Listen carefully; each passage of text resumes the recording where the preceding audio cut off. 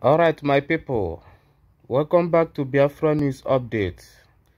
In case you don't know, you can follow us on Facebook, Instagram, YouTube, and the Twitter. Yeah, now as you can see, a group of Coalition of Northern Group vote not to free Biafra or vote Igbo man in 2023. my people, now, now I don't know how this one come out. To. Now, now, as you don't set, as you don't set like this, now people like Ike Ekweremadu, Peter Obi, Chibuike Amaechi, and all these Igbo governors and Ohaneze and Igbo, now then they bring all this insult to we wey be Biafra. Because without this, all this old uh, cargo, all this old cargo wey full for our side, all these insults will not be coming out like this. That is why. You understand? So now these people now, now then they bring all this insult. Now I think I think uh, they can use their eye to see how they how the thing they go, because as we dey now, as we wey be real Biafra, we know say no matter any Jupiter, these people can never give all this Igbo presidency that uh, they are talking up and down now. They can never give it to any Igbo man. Never. Never. They want just to play game. But now all this, uh, our old cargo, now them be the problem. So that's why, my people, that's why we bring this story. May una watch them also. May una see the way the thing go. How waiting they talk there. May una use una eye. See am. Thank you. Northern Consensus Movement again reiterated their stand to stand against any Southern president come 2023 as the governors in the South oppose open grazing, which is livelihood of Fulanis in the North. Addressing pressmen in Abuja today, the president of the group, Comrade Awar, said Nigerians are not happy with, the, with what Southern governors are doing. He said the Northerners will not accept to vote anyone that is not from the North in 2023 with the arrangement of opposing open grazing. Deliberately refuse to adhere to the provision that the president is trying to make just because they have an innermost plan. They have a plan, they have uh, a thinking, they have a, a, a, a, a motive that they are trying to execute. That is the reason why they decided to refuse to comply with that. And in any case, this is a political situation.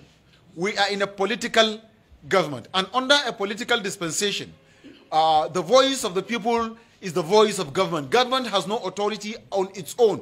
Whoever become a governor, a president, a senator, a member House of Reps, a member State House of Assembly, or a local government chairman is doing that on the neck of Nigerians.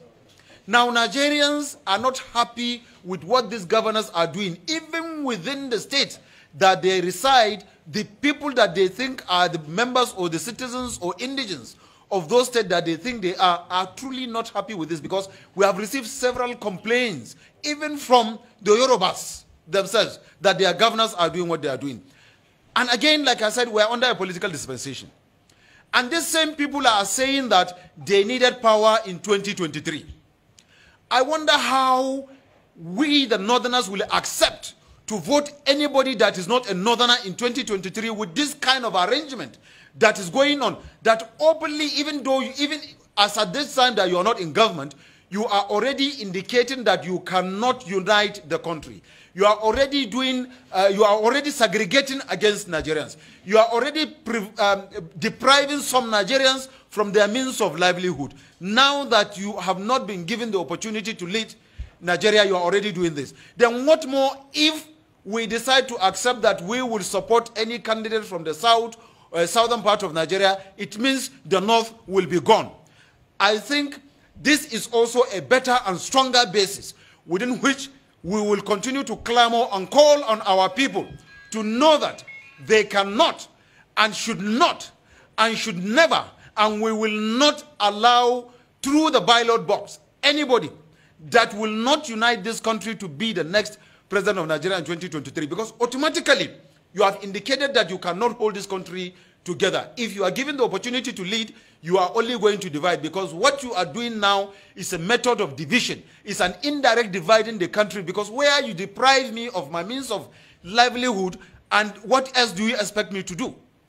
What else? And we are talking of crime, crime and criminality. And we are trying to see to it that crime and criminality is reduced to the barest minimum. The government at the center is doing everything humanly possible to ensure that crime and criminality across the federation is being reduced to the barest minimum. But by this act, you are indirectly instigating violence, you are indirectly instigating, uh, instigating chaos, you are indirectly, uh, you know, expressing that you are not willing to continue to, uh, you know, to harbor other Nigerians from the other part uh, of the country that are resident in you. And I've said it before, I'm going to repeat it again. In, the, in Kano and Kaduna alone, you have more than 19 million, I mean, in the entire northern Nigeria, you have more than 19 million uh, Yorubas resident in the entire, in the 19 northern states. And not only resident, these guys owns personal property, land, farmlands, houses, and shops and what have you. And we live with these people peacefully. We try as much as we can to protect them, to protect their lives, to protect their properties. Why is it that the properties and the lives of our own people that are resident in your own state is not being protected, is not being guided? That is not to say that we don't know what we are doing. We are not fools. We also have feelings the way you have feelings. We think the way you think. We can act the way you act.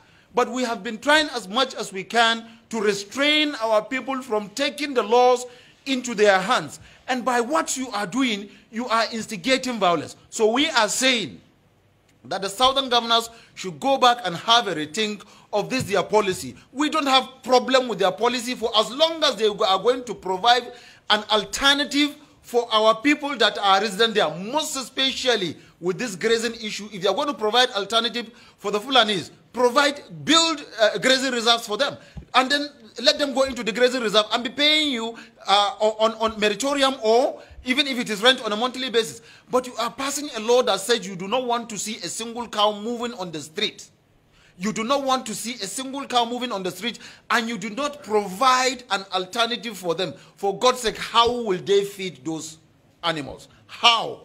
How will they be able to feed these animals? And you keep on arresting these animals and also charging fees arresting, charging, and collecting fees from the Fulani nomads that are innocent, innocently trying to find a way of uh, uh, put, putting ends uh, together. We are saying no to this, and we're also made to understand a lot of these charges that were being given, there's even no receipt for the charges. You only charge them, and at the end of the day, they leave, uh, you leave, uh, uh, arrest their cows, and then charge them exorbitantly before releasing the cows, and the next three days you come back and rearrest again it, this is not the best way of revenue generation. If you want to generate revenue, you should do build ranches. After building the ranches, then you can enact your law, then push the Fulanis into the ranch. Those that refuse to obey those laws, now we now know that they deliberately refuse to obey the laws, and we are law-abiding citizens. Northerners are law abiding. We are Nigerians. We believe in Nigeria. We respect the laws of Nigeria. We will never break the law. We will never support breaking the law of the Federation. But you should also not instigate breaking the law because what you are doing, you are instigating violence indirectly. With this, I will rest my case. Gentlemen of the press, if you have any question, I'm here to answer. That is the stand of that's not just the group. We speak for Northern Nigeria. This is the stand of northern Nigeria, the stand of northern Nigeria in 2023 is that the north still have a balance of four years and will continue. Uh, we will make sure that we balance of our four years before moving power. We were even beginning to think that we can consider our brothers because politics is all about number. We have the numbers. We have the numbers, we have the voting strength. And you cannot become a president when you don't have the majority of vote. We have the majority of vote. We were willing to give that majority of vote to other part of Nigerians that we feel will harmonize, unite, and move the country forward. But we understand by this act now, it is clear to us that it is good that we are standing on our position. It is good that we, we are still insisting that the North will continue until after, 20, uh, after 2023, until after four years, then we can now come into roundtable and begin to negotiate. By the act of the governors of the south, uh, uh, uh, southwestern state, it is clear that they cannot, if any of them or anybody from that part come, becomes a president, he cannot unite this country. He will not unite this country. He will not work towards the general and national interests of Nigeria. And we, the Northerners, are known to be fair in judgment. We are fair in thinking, and we are fair in leadership. And that was why today, if you go, you find out that most of the infrastructural development that has taken place under the present northern leadership is done in the southwestern part of Nigeria and the southeastern part, with a very little of it taking place in the northern part of Nigeria. Even with that, the southerners and the easterners are still complaining of marginalization and what have you. Then if you give, this act has indicated that if given the opportunity, then we are going to be slaves in our own country. For this, we are insisting that the North will continue to hold on to power. We have the vote. Whoever that needed to be a president should go and contest under a political party and then let his credibility sell him and let the votes count. Let the vote decide who becomes the next Nigeria's president.